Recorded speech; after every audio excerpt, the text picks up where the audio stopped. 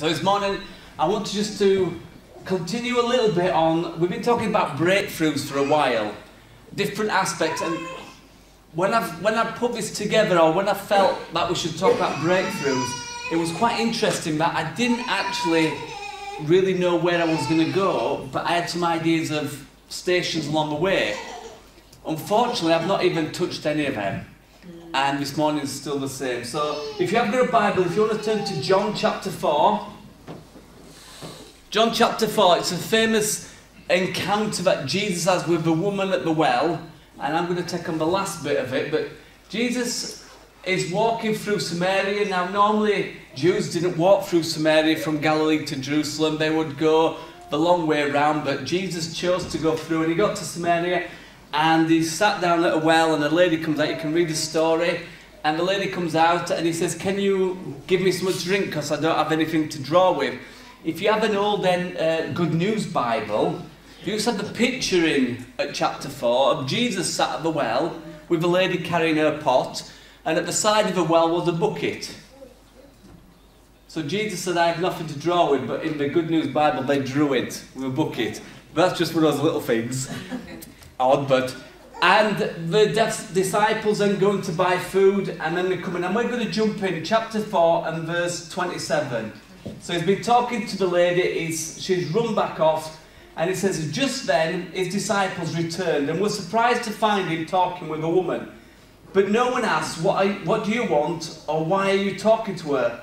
Then, leaving her water jar, the woman ran back to the town and said to the people, Come and see the man who told me everything I ever did. Could this be the Messiah? They came out of the town and made their way towards him. Meanwhile, the disciples heard him, Rabbi, eat something. But he said to them, I have food to eat that you know nothing about. Then his disciples said to each other, Could somebody have brought him food? My food, says Jesus, is to do the will of him who sent me and to finish his work. Don't you don't you have a saying, Still four more months till the harvest? I tell you, open your eyes and look up at the fields, they are ripe unto harvest. So Jesus is talking to the lady. She then runs back, tells everybody what's been going on. They're coming back, and the disciples, who, let's face it, had been with Jesus a while and should have been thinking of heavenly things as well as earthly things, are thinking of their stomachs. They're hungry, they've got some food, they're coming to Jesus and say, Rabbi, eat some food, because we're hungry, you must be hungry. I don't know if it's a case of, have you ever been to somebody's house where you're all sitting there waiting for everyone to sit down, you're starving, and you wait for that last person to sit down, and you're just about to tuck in and someone says, let's say grace, and you're going, okay. And then they go on that long that your salad warms up and your dinner goes cold. It's like, hurry up, will you? You can imagine the disciples thinking, We're hungry, come on, let's have some food. And they said to Jesus, Have some food. And he said, I have food to eat that you know nothing about. And I think there's a real lesson here in these few verses that we can learn because often we think of our needs, our physical needs, and they are important. We think of circumstances that's going on in our lives, but yet there's something that goes beyond that. And Jesus says, I have food you know nothing about. Then his disciples asked each other, could somebody have brought him food, still thinking the physical. And Jesus said, My food, said Jesus, is to do the will of him who sent me and to finish his work. You know, sometimes if I'm busy doing something for God or I know there's a God encounter going on, there's something, there's a situation, I can go for hours and hours, even sometimes days without really eating because I'm focused upon God. If you ever fast, usually the first day kills you, the second day you, is really bad, and the third day you wish you were dead, and by the fourth day you've kind of worked that through a little bit. But when, for me personally, when I'm doing things for God and if I'm fasting, it kind of doesn't affect me for a few days. And I started to understand what Jesus meant. Yeah, we need food, we need to look after our bodies, we need to eat, but we need to do the will of the Father. We need to do what God said. We've got circumstances going on in our lives, but we still need to do the will of the Father. In fact, doing the will of the Father will actually help you get through everything else. Doing the will of the Father, doing what Jesus is telling, or doing what the Holy Spirit is saying to you, will actually help you get through everything else. I mean, I had somebody recently, and I've taken this on board and resharpened my axe, as it were. They said spending five minutes at the beginning of the day will save you a lot of time at the end of the day. When I wake up, I don't turn to Joe and say good morning. I'm often saying good morning, Jesus. I'm talking to Jesus as I'm stirring, as I'm working. When I'm going to sleep at night, I'm saying good night, Jesus. He's my best friend. He's the one who's there always with me by the Holy Spirit. He's the one who's always been with me. I, I sometimes sense him, other times I don't, but I know he's there. Amen. And yet sometimes for many of us we can spend days, sometimes weeks without even talking to the Holy Spirit. It's like having somebody with you in the car, I've heard this story, having somebody in the car on a 20 minute journey and never even talking to him. And yet he's there all the time. But we're busy. We've got things going on. And Jesus, yes, probably needed to eat, yet he was doing the will of the Father. It's amazing when you, you have a, one of those God incidents in your life. And I've been talking to God a lot recently about breakthroughs and, and in trying to encourage breakthroughs in my own life and helping you have breakthroughs in your life. And he reminded me this week, I was in the park and I was walking the dog and I was praying. I remember every, every breakthrough starts with an encounter with Jesus by his Holy Spirit. Everything we need starts with an encounter with Him. I mean, there's nothing wrong with going to a doctor, but are we asking Jesus first about it? There's nothing wrong with asking um, about talking about situations, but I have to say, God, what, what do you think I should do? Sometimes more out of courtesy than anything else, but trying to bring him into the conversation, trying to bring him in. You see, Jesus said, My food is to do the will of the Father who sent me and to finish his work. We've all got a job to do. I keep telling you, God's got a plan for us, He's got a purpose for us. And that needs to be finished in our lives to, for God to be fully to fully do what He's got for us. We need to engage with encounters with the Holy Spirit and to walk close to God. And that's in addition to everything else that's going on. Many, many years ago, I um, used to be out talking to people like God. I still do, and I still love it. And yet I come across many people that said, no, God's called me to this. God's called me to that. God's called me to, to do this and God's called me to do that. But I realised over the years that we're all called to pray. We're all called to worship. You don't have to be called to be a worship leader, but we're called to worship. And we're all called to be witnesses. See, Jesus went on and he said, Don't, don't you ever say it's still four more months until the harvest. Yet I tell you, open your eyes and look for the fields are ripe unto harvest. A couple of weeks ago, I told you that I'm going to confess a mistake that I've made. Hey, I make them as well, you know. Cut me and I bleed, and it's not blue, it's red. I'm like you. I'm not any super person and all that. I'm like you. But I made a mistake, a big mistake. And I'll get to it in a moment because I'm thinking, Facebook, quickly. Record this one. You know, over the last, I'll get the box, over the last few months we've been praying uh, for the people's names that we've put in here. And every Sunday we pray for them, and I, I still pray that you're, or still ask that you keep praying for these people. But this is a problem, this is a mistake. I've asked you guys to put names in this box, which is right. And I've asked you to pray for these people. I don't know, I've got to be careful because we do need to pray for these people. But I don't know if that's the entire story. Because Jesus says, Look, open your eyes, um, the fields are white unto harvest. If we jump into Matthew, Matthew 9 35, it says, Jesus went throughout all the towns and villages, teaching in the synagogues, proclaiming the good news of the kingdom of, uh, of the kingdom and healing every disease and sickness. When he saw the crowds, he had compassion on them because they were harassed and helpless. If there's a nation that's harassed and helpless, it's ours.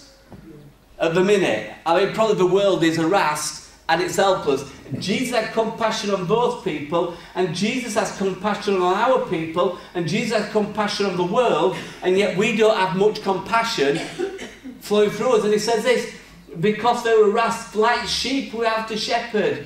And then he says to his disciples, The harvest is plentiful, but the workers are few. So he said, Look in John, look, the harvest is ready. Then he says in Matthew, the harvest is plentiful, but plentiful, but the workers are few. And if you jump into Luke, we're shouting all over. I don't hear pages moving, so you must be moving your thumbs. Luke 10, verse 1 and 2 says this. Luke 10, verse 1 and 2 said, After this, the Lord appeared, uh, uh, appointed 72. So these are not the disciples, these are the people that's on the fringes now. He appointed them, uh, 72 of us, and sent them two by two ahead of him into every town and place where he was uh, about to go. And he told them, The harvest is plentiful, but the workers are few. We've heard that. And then he says this Ask the Lord of the harvest, therefore, to send out workers into the harvest field. We are never told to pray, Jesus, save that person. We are told, this is a mistake I think I've made. I've encouraged you to pray, Lord, save that person. But yet the Bible says, Lord, send me. He never says, pray that that person comes in. He says, pray that you go out, that you talk, that you speak. Pray. Yes, pray, God, give them an encounter. Do pray, God, soften their hearts. Lord, do, give me a chance, Lord, to speak to them. Give me an opportunity. I've got five names in there, and to be honest with you, since we put them there, I have not seen these people, but I'm praying that God give me an encounter. Give me an encounter with them. Give me a, a, a moment with them. But God said it starts by having an encounter with me. Have an encounter with me. And then when you have an encounter with them, it will change their lives. Because there'll be something on me that affects them. The other night we we're having a meeting and somebody came in and I said to him, Have you been around people who's been smoking? And he went, Yeah, because you could smell it on the clothes. When you spend time with Jesus, when you spend time with those, these, these terms are interchangeable. You do understand, don't you, that God the Father is on the throne in heaven. God the Son, Jesus, is at the right hand of the Father. And the one that's with us down here, we often say it's Jesus, it, it's the Holy Spirit. We get that, don't we? So they're interchangeable, and the Bible does say, I will send the Holy Spirit. It talks about the Spirit of Jesus, it talks about the Spirit of the Father. It's not a good time to get into the Trinity, but it is God, all three in one. So they're interchangeable a little bit. But how often do we spend time with God so that it has an effect on other people? You see, we're praying for people, we're praying that people get saved, we're praying that you know, God moves. But before God can move out there, He needs to move in here. And before He can move in our church, He's first got to move in here, in me, which is scary, but also in you. I've been reading up about the Welsh revival, and Evan Roberts uh, totally changed Wales around. But what we don't often find out and read is that he was so committed to God and he was so poured out before God, but he would just he just would be there before God.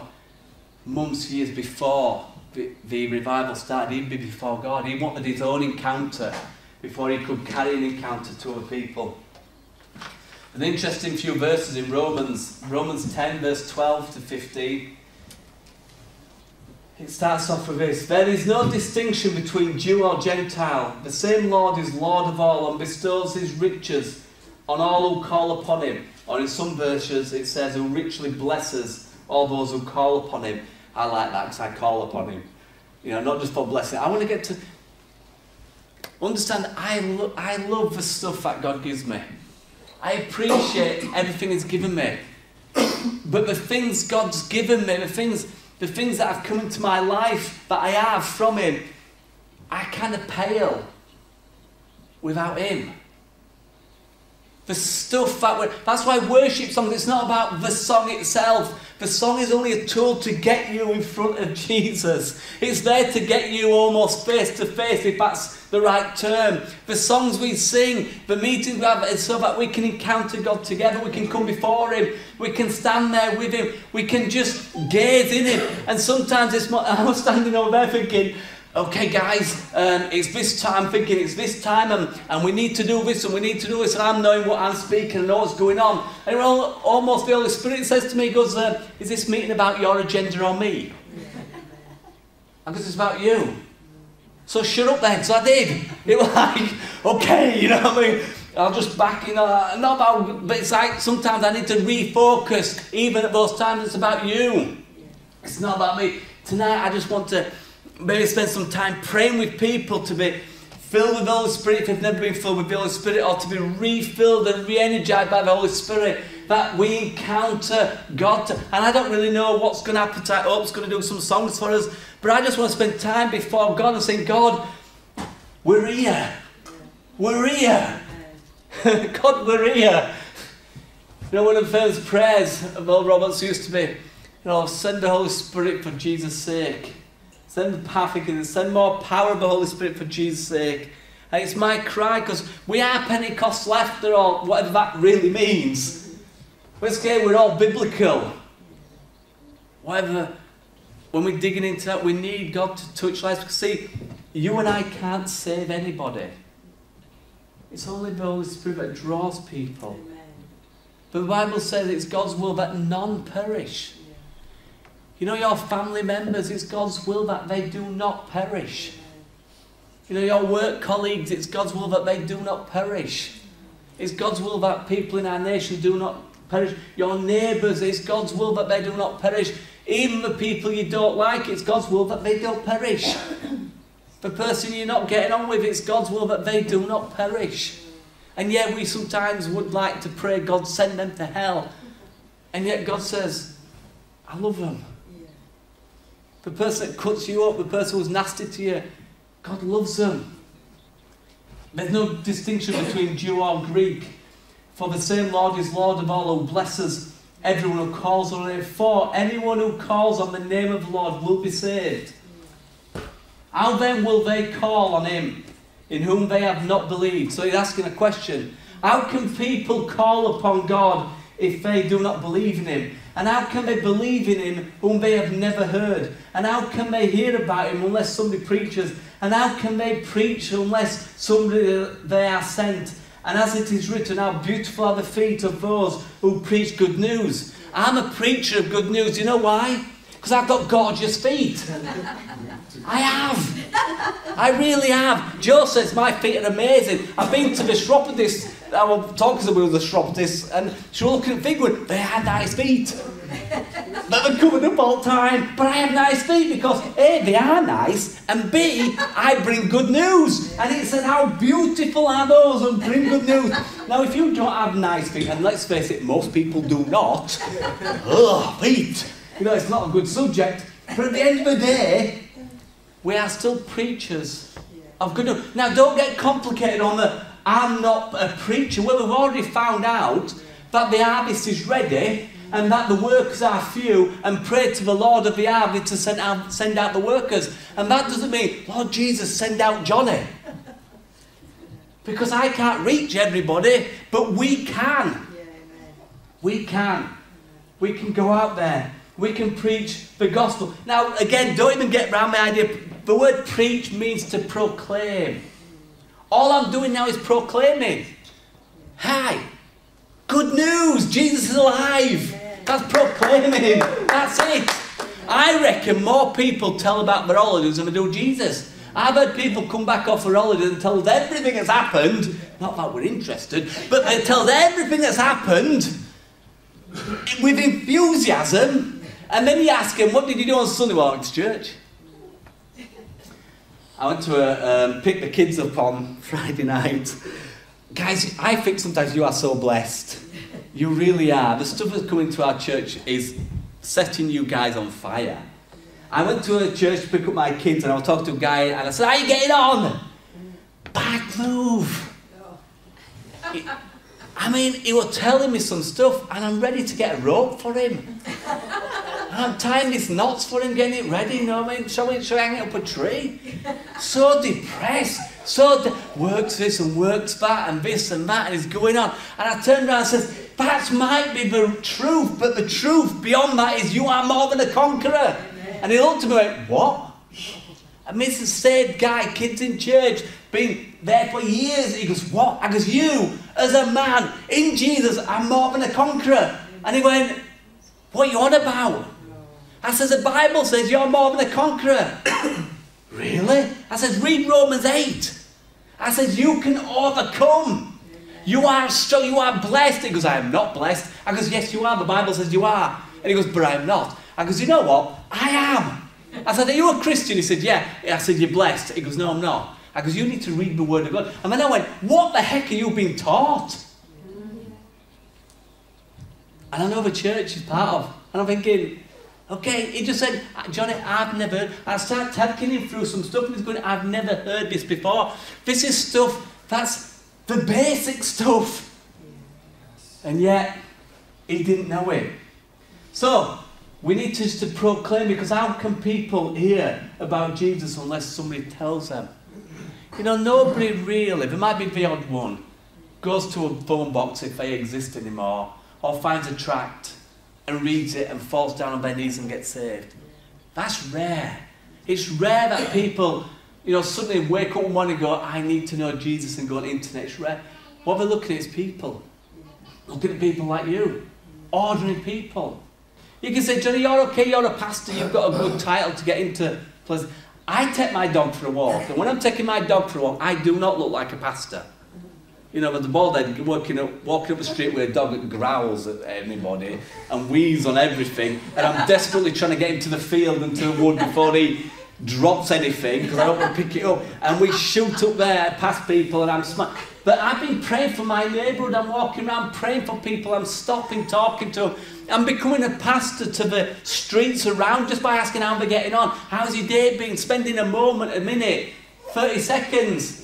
And I'm busy, but yet taking time out is just making a difference in people's lives. But I'm walking with my dog and I get onto the field and, and the dog runs off and does his business and he comes flying back because another dog walked on with a guy and I puts him on the lead and he's happy, he's all right, he's sniffing around. And this dog jumps on my dog, and you know, if anyone's seen Baxter, if you don't know, he's a German Shepherd, and he's, he's not quite that small. And this boxer jumps on him, and Baxter just jumped back on him and pinned him to the floor and grabbed his neck, and he's growling, and they're going, okay, so I drags off Baxter, and this other dog jumps and went straight back for him, so Baxter decked him again, and I'm going, oh, I'm sorry. Come back, Baxter. Yes. You know what I mean? My dog. But, I mean, he's all right, they're both okay. And Joe says to me, just take dog for a quick walk, because we need to go somewhere. An hour later, because this guy says to me, well, I said to him, how are you doing? And he says, I'm not doing so good. For over an hour, I got a chance to talk to him about him and his grandkids and about Jesus. And it was amazing because some Jehovah's Witnesses, because we walked out of the park by now, and some Jehovah's Witnesses walked past. And he says to me, What's the difference between you as a Christian and them? Because when they knock on my door, he said, I tell them I'm a Satanist. I says, I tell them you know, a born again Christian, spirit filled, born again, um, you know, operating gifts. That usually makes them run anyway. I said, yeah. So he said, What's the difference? I said, They don't believe Jesus is God. I was leading somewhere by now. It was like the Holy Spirit was just inspiring me to, to get into a point. And then I said, they don't really believe that everybody will go to heaven. And I know that's an interesting thing in itself. I said, they don't believe in hell. They don't believe people go to hell. We do. I said, but they believe you've got to earn your salvation. He said, what do you mean? I said, well, as Christians, we believe that Jesus died on the cross, he was buried, he was resurrected, and he ascended to the right hand of the Father, and he did it all, and he gives it all to us as a gift. We can't earn it, we can't pay for it. There's nothing, and everybody would say, Amen. That's the good news. He said, but that work? Why do you do good things then? I said, in appreciation for what he's done. He said, but they do good things to get saved. Are you doing something similar? I said, no, no, no. We're saved and we do good things because of we're saved. Yeah. So straight away I said, it's like somebody giving you a, an house. You dream house, somebody comes along, there's an house there, you can have it. And on the day you're moving, you pull your wallet out and say, there's 20 quid there, thank you. It's a bit of an insult, isn't it? And he said, I don't really get it. But he told me about his grandson.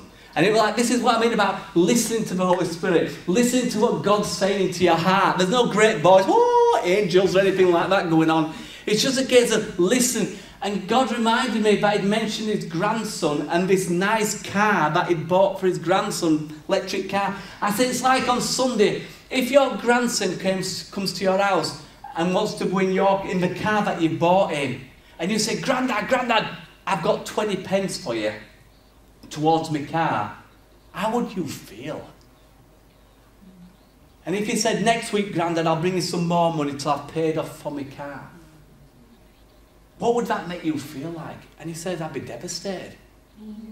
I said, why? He said, because it's a gift. I said, so how do you feel about that? He says, I'd be hurt. I said, what are you looking for? What do you want from your grandson because of that car? He said, I just want to see him smile. I want to see him say thank you. And I went, that's exactly what Jesus did. And he goes, I get it. I get it. I mean, he did fall on his knees, repented, and get saved. That's my be for another time. But he said, I get it. Do we get it? When he called our name and we come running out of that grave, do we get it? Do we get everything we're singing about? Do we get what we're reading about? You see, I've been looking at, I've been reading in Matthew and I've been in Acts and I'm going to go back into Acts, but I read Acts recently and I wondered if I was saved. I read Acts and wondered if I was saved.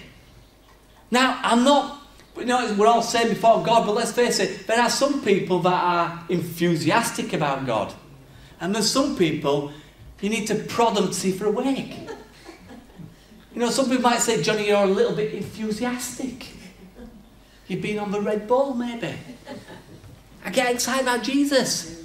But when I read the book of Acts, I'm thinking, I don't even really near these people.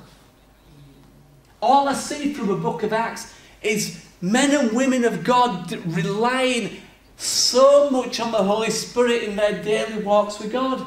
And yet, for me, sometimes I get up and I say, Yeah, how you doing, God? How you doing, Jesus? Let's have a great day. And God's opening doors. But there's times where sometimes I even forget about it. Even when I'm preaching, sometimes I guys, I'm on my phone. I just want to go, Holy Spirit, just talk to me. I just want to go sit down somewhere. So I'd rather spend time with Him than even preaching. I'd rather spend time with Him than even eating. I'd rather spend time with Him than really, dare I say it, having those cuddly moments with the wife. Even though I like those moments and I like eating, you know, I like preaching. But at the end of the day, that's the more important thing. Seeking His face is more important than anything else. Going after Him is more important. And when we encounter God, that's when we'll see His heart for people. And then we'll start talking to other people about Him. You see, witnessing is a, is a dirty word to a lot of people. But when you've met my Jesus, when you've, you've been with my Jesus, you won't be able to stop yourself. When people spit at you, you look back in love at their eyes, and I'm not quite there yet. When people abuse you or say something, when you've been with Jesus, you'll just want to care and love for these people. How can we pray blessings around enemies if we've not touched Jesus because it's so hollow otherwise? And that's what we're after. There's an interesting thing, and I'm working this through. Acts 1 8, we'll jump onto that one. One of my favourite verses in the Bible. It's the first one anybody ever gave me, and I love it. It says, "When the, you will be my witnesses when the Holy Spirit comes upon you." Sorry, when the Holy Spirit comes upon you, you'll be my witnesses. I better read it, and that's going that over. But you will receive power. That's it. Oh. This is this is. If I had Sam on guitar now, this would be you'll receive power. Into speaker. I haven't got hair anymore, have We need you sometimes, no? Dan a keyboard, no. We, don't want to go into meetings, do we? But you'll receive power when the Holy Spirit comes upon you, and you will be my witnesses in Jerusalem, Judea, Samaria, and to the ends of the earth. Do you know what? I've witnessed in Jerusalem, I've witnessed in Judea, literally. I've been there, and I witnessed, I loved it. I've not been to Samaria, but I've been to the ends of the earth. But when you're filled with the Holy Spirit, you'll, you become a witness. Not a witness that feels they have to. Guys, you know something? I never ever tried to force myself to witness to anybody. Never. But I just say to God, God, I'm ready. I'm ready for you. I'm ready. And I'm a bit of an evangelist, so you'd think, whoa, but I'm not joking. I just want I want people to say, what's different about you? What's different? And I don't want to see me, I want to see Jesus. There's a couple who visited us um, some time ago, and they're at a church in Pontefract. And the testimony of that guy is, he says this, and uh, hear me right. He says, when I looked, I had a Leeds top on, and he were a Leeds fan. That's how we got talking. But he said, when I looked into his eyes, he said, I saw something I didn't have. I saw Jesus. And I'm thinking, that's good. Jesus shines out, opens our windows, shines out, he's looking. We get up in the morning, we open our curtains, and when we open our eyes, we need Jesus to shine out by the Holy Spirit. We want the smell of Jesus upon us so that we will receive power and the Holy Spirit comes upon us so we can be witnesses. Do you know you're a witness either way? Whether you witness for God or not, you're still a witness. You're a witness. You're a witness for God or you're a witness against God. That's it. Simple as that. You're either promoting the things of God or you're promoting the things of this world. There's an interesting verse in the Bible, I forgot what it is. It says, Wake up, O sleeper, rise from the dead. Interesting verse. Number one, why would somebody be sleeping amongst dead people? Why would you bet your bed in dead people?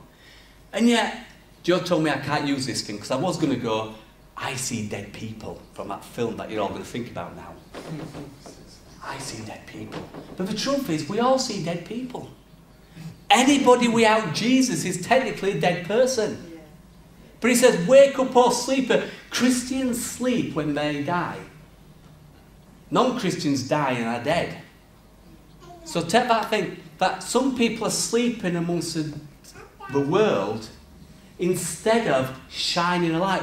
You know, there's a song by Keith Green and it says, um, Don't you see, don't you see all the people sinking down? Don't you care, don't you care? Are you going to let them drown? And he says, We're spending too much, we're, we're asleep in the light instead of being. We've got the light of Jesus and we're sleeping in the daytime instead of shining a light in the darkness to bring people out.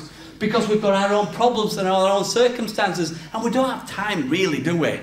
God, if you're really that important, why don't you just show yourself in the clouds and people will turn to you? Why don't you just give them a vision? Because He's called you and I. He's called you and me. Peter and John, at the end of Jesus is resurrected in a story that comes right at the end of John's Gospel, John 21, verse 15 to 21. Guys are out um, fishing, and Jesus is cooking breakfast and calls them in. So he says, When they had finished breakfast, Jesus said to Simon, Simon, son of John, do you love me? Or so, do you love me more than these? He says to him, Yes, Lord, you know that I love you. And he said to him, Feed my lambs. Now, most of you are very familiar with this. He says to him the second time, Simon, son of John, do you love me? he says to him, Yes, Lord, you know I love you. He said to him, Teach my, uh, tend my sheep. English Standard Version of this. He says to him a third time, Simon, son of John, do you love me? Simon was grieved because he had asked him his third time, Do you love me? He says to him, Lord, you know everything. You know that I love you. And Jesus said, Feed my sheep. There's a lot of theology in there, a lot of people making great things out there, but something dawned on me recently when I read that. Jesus asked him, Do you love me? And Pete said, Yeah. And he said, Feed my sheep, feed my lambs, tend to my sheep, whatever. He said, Do something. A shepherd who manages other people's sheep cares for the sheep when there's no reward back. I believe um, Jesus was saying to Peter, Do you love me? Peter says, Yes. So he says, Take care of my sheep.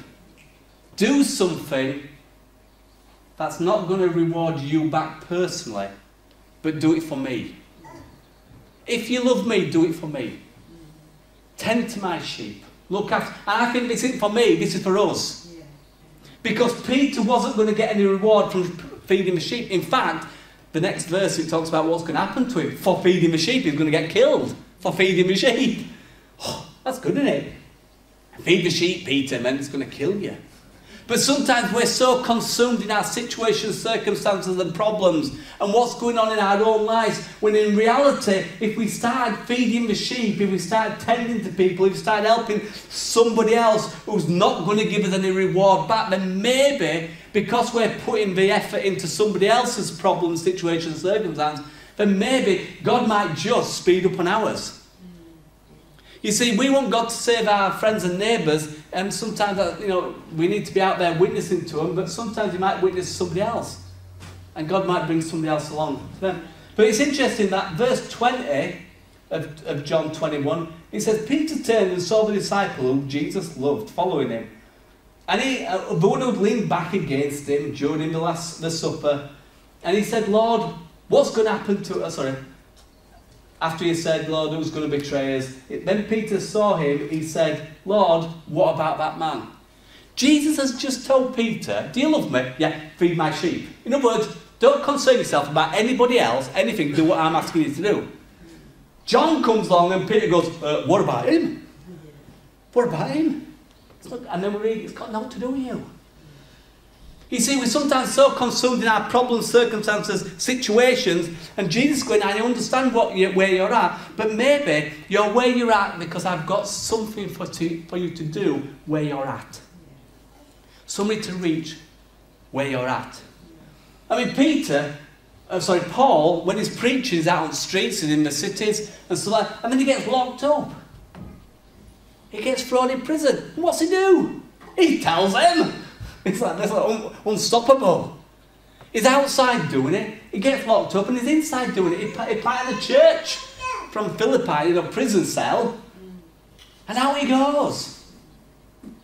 He wasn't concerned about his situation. He said, I've learned to be content with much and with little. See, we say we're blessed when we have much. When we haven't got much, we wonder what's going on. I've realised the stuff that God gives us can often be a distraction to Him. We come before God sometimes and it's, Lord, give me, give me, give me, I need, I need, I need. The Bible says He already knows your needs and He will supply all your needs. You don't have to go begging for your needs. It says in the Word of God, I will supply your needs. You thank Him for He's supplying all your needs. But you need to go after His face. You need to go after Him. And I've had some awesome encounters with God over the years, but they're kind of faded now. faded. And maybe it's because I've got used to Him. Maybe it's because I'm so used to Him that I'm thinking. But when I watch people on the internet or I watch, I'm trying to think of some preachers' names, Kathryn Kuhlman. Anybody ever heard of her? I mean, it was like she used to talk to the Holy Spirit like he was standing next to her. And she's shut up and, and listen and then talk. I'm thinking, I just want to have that sort of relationship with you, Jesus. I just want that. The problem is that some people, when they get the Spirit, become nutters. They were already nutters before that. That don't change. The fact is, if you went to a restaurant in Sowerby Bridge and they served bad food, would you stop going to all the other restaurants in Sowerby Bridge? No, you'd probably just stop going to that one. Just because there's one crazy person who looks weird doesn't mean you don't have to go after the Holy Spirit. And I think the Holy is beckoning us on, is drawing us forward. If we want real breakthroughs in our lives, not temporary victories, but permanent solutions where we win and we run through, we're knocking down the giants, not just knocking them, but we're killing them and moving on to the next one. It's walking daily with the Holy Spirit. It's walking daily in the presence of God. It's going after Him with all your heart. Sometimes, sometimes we miss reading the Word of God because there's something more important on the internet or on telly. But you'd never miss a meal for the telly. I heard something recently from Joyce Meyer. And she says this Is Jesus your Lord or your part time lover? Is Jesus your Lord or your part time lover? Because Jesus is not into part time lovers. Jesus is into take up your cross, follow me. Jesus never said, I will follow you. He said, follow me. And then he sets off walking. But, but, but Jesus, I want to go and sort this out.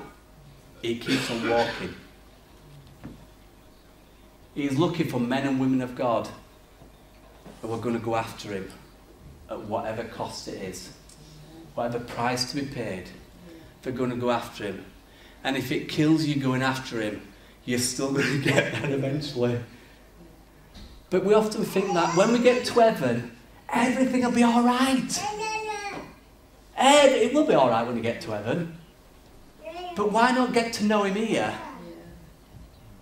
So that when you get there, you're rewarded in all the things. Well, I just want to get there. Well, that's a very selfish attitude.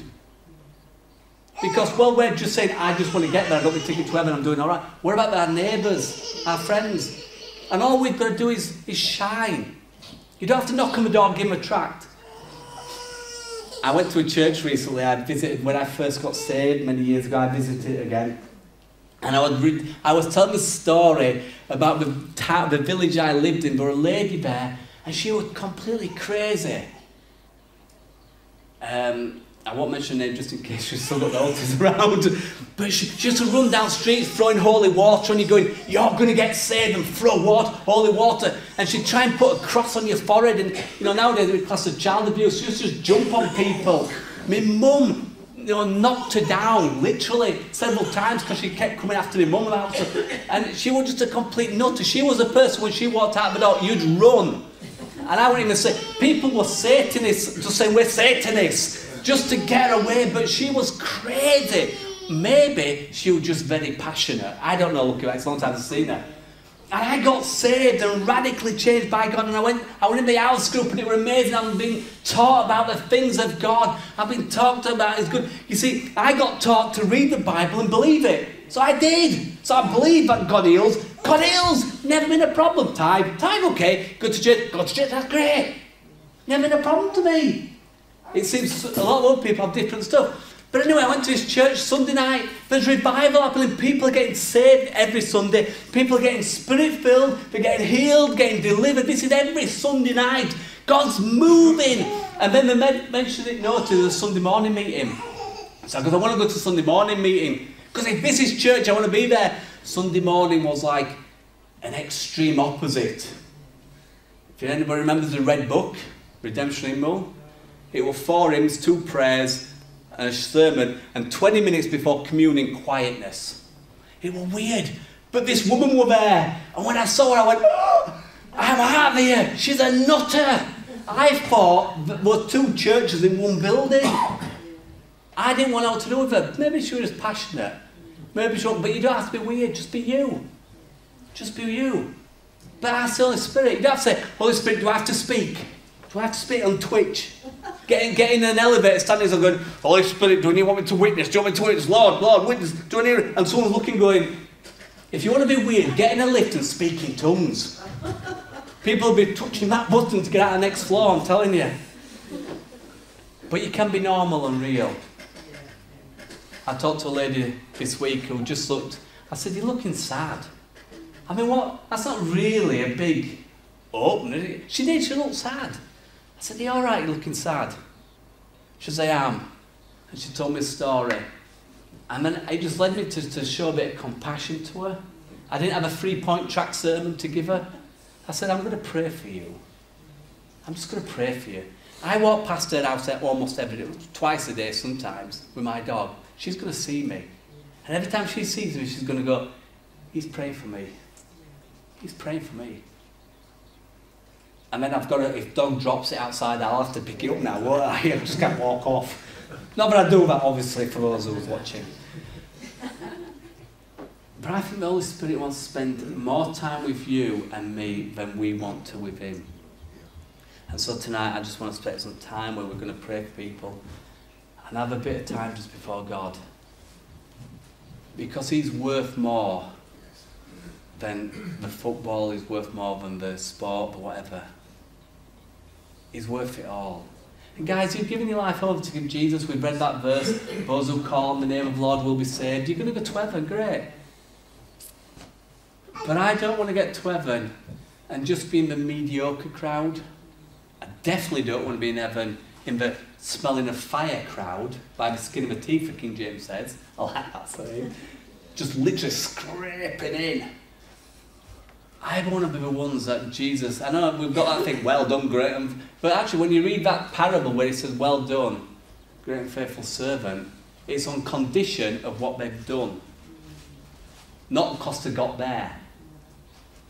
I think the people who don't get well done, it'll be great to see you. Come on in.